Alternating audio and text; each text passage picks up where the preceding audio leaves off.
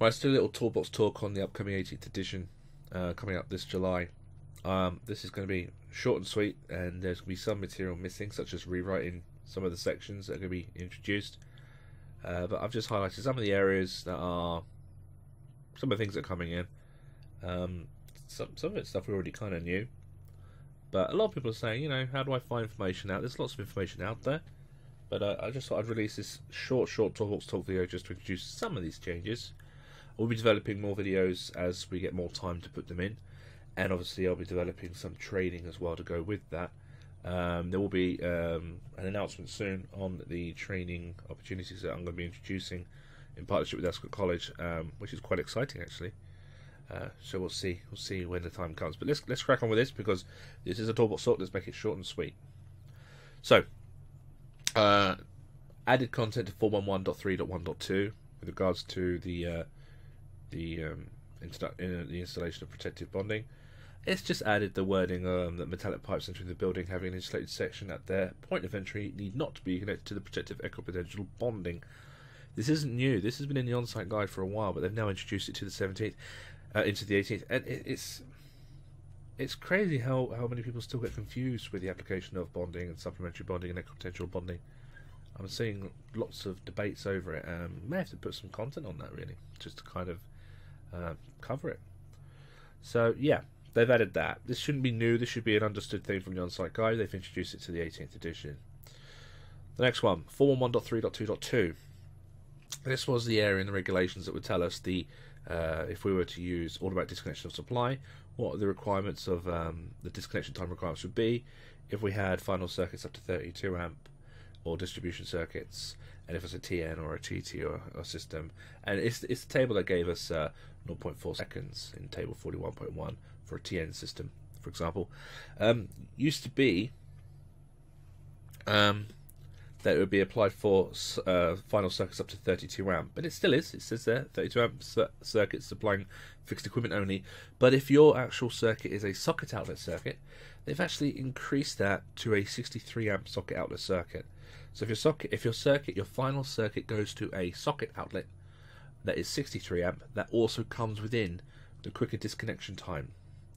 Yeah, so it, it cuts off the final circuits to the 32, unless it's a socket circuit then it actually cuts off at 63. So it's just a little a little uh, increase in the um, in the coverage there for that one. We also have, when it regards to additional protection, so the question of whether or not we need to have RCD protection. Um, it used to be for a socket outlet with a rated current not exceeding 20 amps, so 16 amp, 13 amp socket outlets typically. They've pushed that up as well to 32 amps, more coverage, more protection. Yeah, so the previous regulation was quicker disconnection. This is obviously additional protection, more coverage for the use of socket outlets. They were going to actually say all socket outlets must have a RCD in the draft. That has been amended now. The introduction of uh, the uh, the risk assessment method to to uh, control whether or not RCD protection is needed has been reintroduced um, because obviously the introduction of a 30 milliamp RCD protection on every single socket outlet in the circuit or mobile equipment for 32 amp outdoors, it's in some scenarios it's not very practicable, and so they've reintroduced a risk assessment for the socket outlet section. But these risk assessments must be carried out properly. Uh, this is new. Um, in a dwelling environment, we need to have a 30 milliamp CD on any lighting circuit or a circuit that has luminaires within it. Um, you could say it's due to the risk of impact protection cables on the wall, but no, that's covered under protection against impact. This is most likely down to the um, the, the, the numerous ways we're utilizing lighting, especially in the homes with the introduction of LEDs and fancy display lighting, plus the the actual ability to go down to the local DIY store and actually buy a luminaire and then put it up yourself. So so we're now we're now driving to have additional protection on this circuit in the home. So should there be um, any risk or any any um, inability to effectively isolate while carrying out the installation of a light that you've gone and down the B and Q and bought. It's just that extra protection. It's the dwelling dwelling location only for that one. Now, in chapter 42, uh, thermal effects, they've um, kind of re-brought out this. Uh, it kind of disappeared before the 17th, but they've brought it back out in the 18th. The uh, the mention of the arc fault dis- uh, detection device. Um, do your own research on these devices because I mean they do serve a purpose. You know, they they they they they they, they monitor the, the, the currents and they can pick up these little transients that you get when you have arcing and they can disconnect. They are a disconnecting device. Um, the recommendation of the regulations is to only put them in, as it says there, recommended if we have a place of sleeping accommodation or if we have a place where there's a risk of fire due to the nature of process or stored materials. The similar types of locations that we would consider a a wiring system that would propagate fire, really, you know, uh, that kind of scenario, you know, uh, public significance and things like that. Um, I have recently watched um, a seminar by one of the manufacturers, uh, Eaton, and and they were kind of suggesting that even light circuits should have these because of the risk of penetrating the light switch switch drop. Um, it's clearly it's clearly the manufacturer's incentive to push these devices out there. They are going to be very expensive while they're being launched, and also these devices are supposed to be selected for each final circuit at the um, at the board. So a discrimination thing. We're supposed to actually have them employed for every single circuit, and that's going to result in obviously um, larger modules, larger ways, and a lot of money. And the fact that they are a recommendation means they're not an instruction. So it may be that if you choose to go with them, that a another electrician would choose not to, and then there's a huge price difference. So I think that these are going to be um, in, in, larger commercial industrial installations. These probably will be a a generic a design pattern. They'll, you know uh, they'll be they'll be selected naturally, uh, but I think in um, they're not really suitable for the domestic really. Um, whilst whilst in the US they are in the domestic world, I think I think here until we're actually pushing them and they're more affordable, I think we're just going to be hearing about them and ignoring them for a period of time. Let's see. Let's see what happens. Uh, the manufacturers want you to buy them, though, obviously. But um, do a little bit of research on them. This was interesting. Um, I just, yeah, I just popped up and noticed it.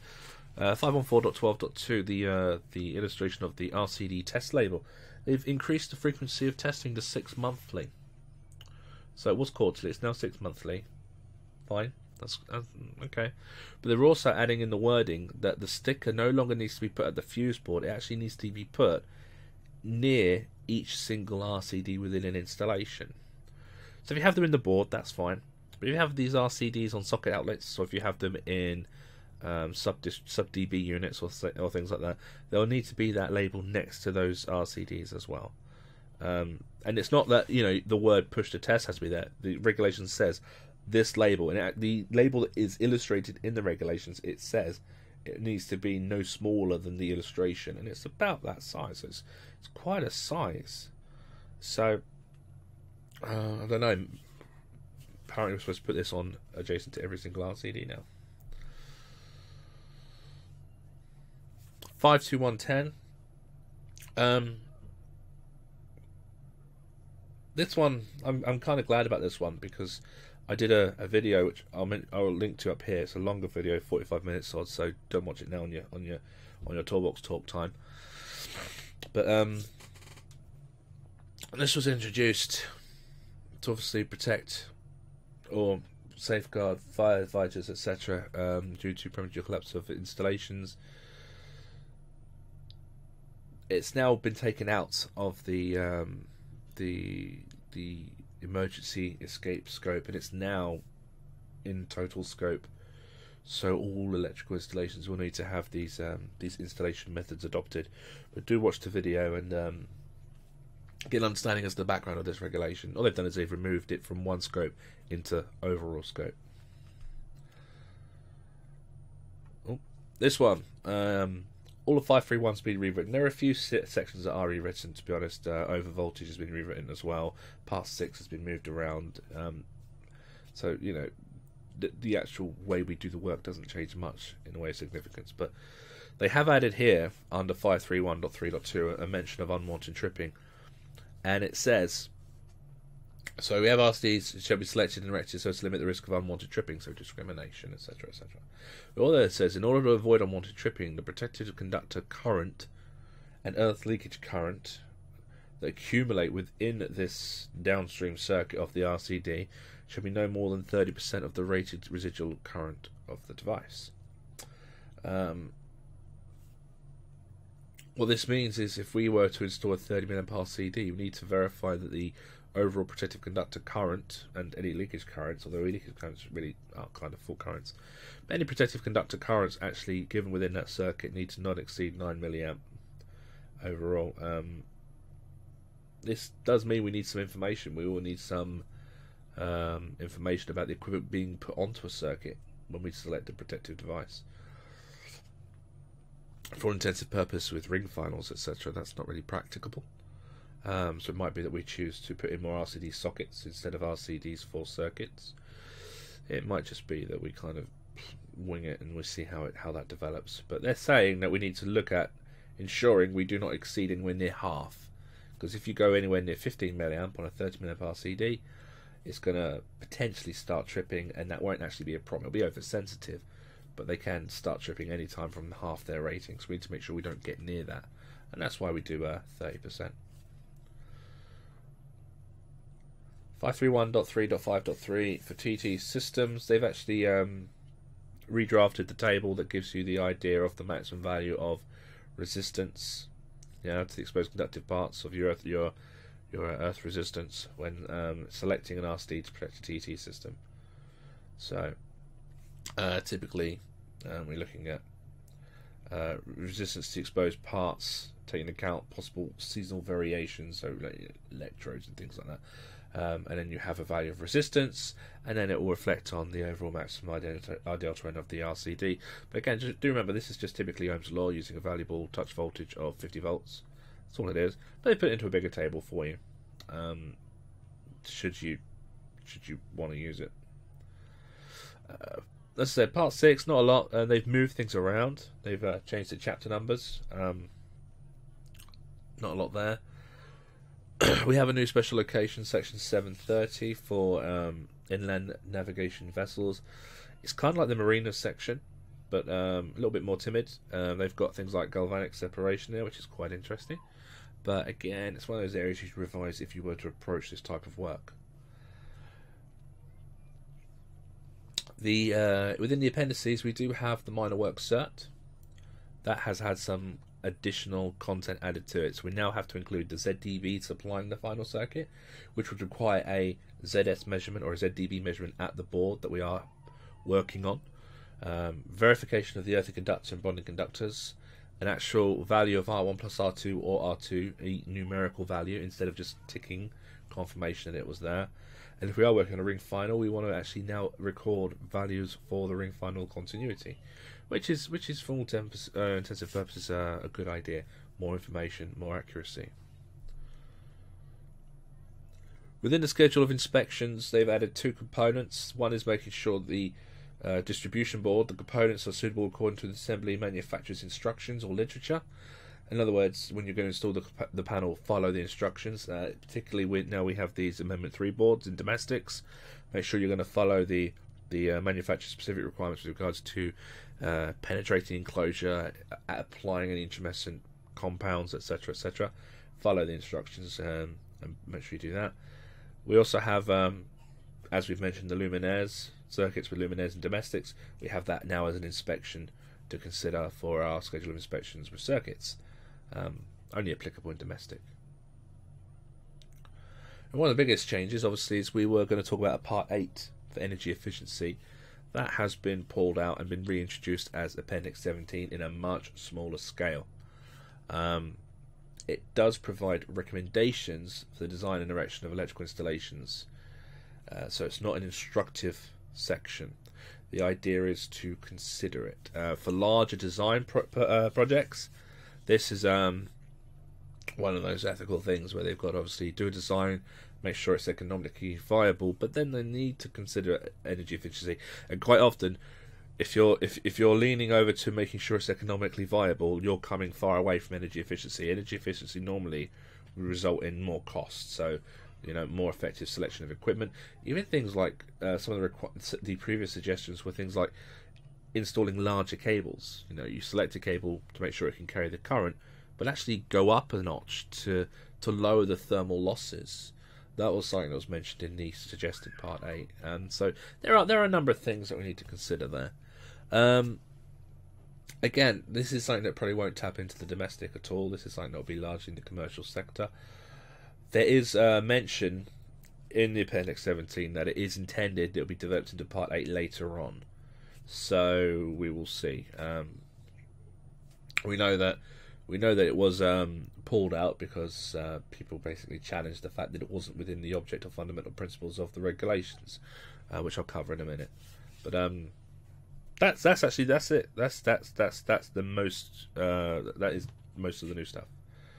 All right. So to conclude, there was mention of foundation earth electrodes in the previous um, draft of public comment. They that's been pulled out. Yeah, the old 542.1.201 did mention the installation of an earth electrode supplementing any earthing facility. They've pulled that out. So there's no foundation earth electrode now mentioned. As I've said before, RCDs on all sockets, they've pulled that back. They've introduced risk assessments again. So the need for RCDs on all sockets may not be there.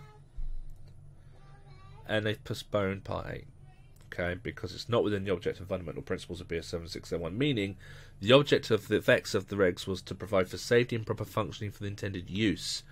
And the fundamental principles was to provide for the safety of persons, livestock, and property against dangers which may arise in the reasonable use of the system. Energy efficiency is part isn't part of that isn't part of that scope, isn't part of that vision. And so the wiring regulations it, it was challenged that it's not in the interest of our wiring regulations to incorporate the consideration of energy efficiency. But it's postponed. So they'll bring it sooner or later. All right, uh, that's it in a nutshell. Um, more information will come when each of these sections broken down. I'll be blowing up the regulations anyway, uh, in a with a full course which I'll be offering anyway. So you know there'll be more and more and more information on this channel very very soon. Um, it's just a case of dotting i's, crossing t's, making sure that what I do put out there is um, is guaranteed. Uh, pretty much got an understanding of what is going to come out, uh, but you never know. So work with us for now. Uh, but yeah, uh, do research other areas as well if you want to, or you know, message me back and ask me about any specifics that you have. Um, I'll probably do another update on this in a week or so, just to kind of make sure that we're still on the same uh, page with it. But there we go. That's it for now. Cheers. Bye bye.